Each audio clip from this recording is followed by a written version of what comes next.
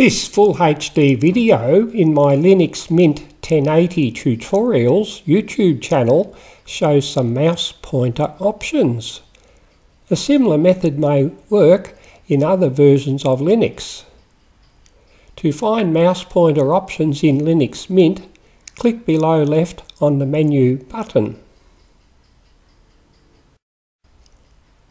In all applications you can scroll down to find mouse and touchpad, then left click on the green panel.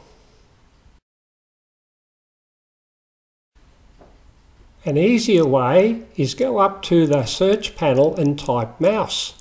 When mouse and touchpad green panel appears, left click in it.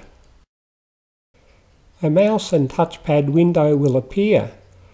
I will deal with the mouse first but I ignored the top two options.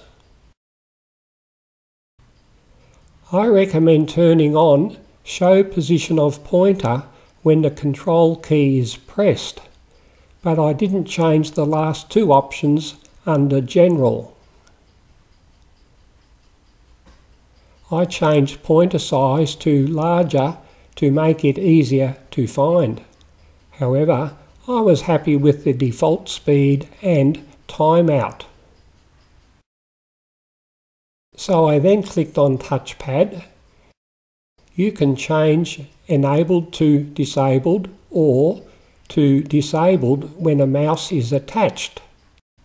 There are further general and scrolling options below for you to try at your leisure.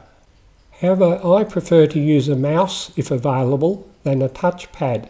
So my preference is to select touchpad is disabled when a mouse is attached. So I didn't need to change other settings. Look in description below for YouTube links to my previous Linux tutorials. Subscribe to Linux Mint 1080 tutorials to be notified when I upload future videos including how to use Linux Simple Screen Recorder. Linux is great and free. Try it and you will agree.